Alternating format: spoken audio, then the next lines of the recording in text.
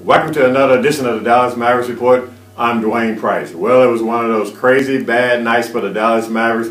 They didn't lead the game at all against the Toronto Raptors and wound up losing 94 to 86. The Mavs just didn't have it. They shot 38% from the field, missed 21 out of their 28 three-point attempts.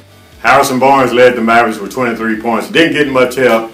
Uh, Seth, Seth Curry scored 11 points. Yogi Ferrell came off the bench to score 10 points.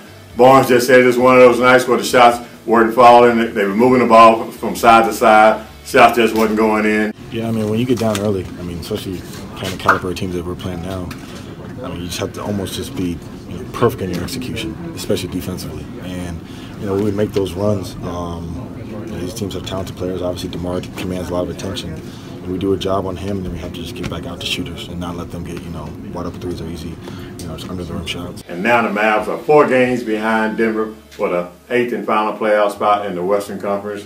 And I don't know if it's going to happen, but they got 11 games left. And this loss, what it does is guarantees that the Mavs will not have a winning season this year. They're 31 and 41. Mavs are 1 and 2 on this four game homestand, which ends on Monday against Oklahoma City before the Mavericks hit the road for a five game road trip starting uh, Wednesday in New Orleans. This will be the first time since Mark Cuban bought the team on January 4th, 2000, that the Mavericks will finish the season with a losing record if they lose one of their remaining games.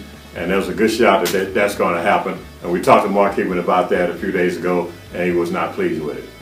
What would you expect for the team in terms of do you think they'll start experimenting for the rest of the season, or how do you see this probably playing out? You know, it's funny you should say that because before the game, uh, Carlisle in his pregame uh, interview with the media, he was saying some things about their experiment because now they have, of course, moved Seth, Seth Curry from shooting guard to point guard, moved Harrison Barnes from power forward to small forward, Dirk from center back to power forward, Wesley Matthews from small forward to shooting guard. So they are doing some experiment right now. And I know deep down they're getting ready to try and see what they got going in the next season. They're not going to come out and say that. They can't tell the fans we're trying to lose because they're not trying to lose. They're trying to win ball games and they're trying to get into the playoffs because they they've reached the playoffs 15 of the last 16 years. The only team that has done it better is San Antonio, who did it 16 out of 16 years. So they, they like the fact that they can get into the playoffs and keep that record going, but I don't know if it's going to happen this season. All right, Mavericks are going to take the day off on Sunday, and they will be back on Monday. Right, they play Oklahoma City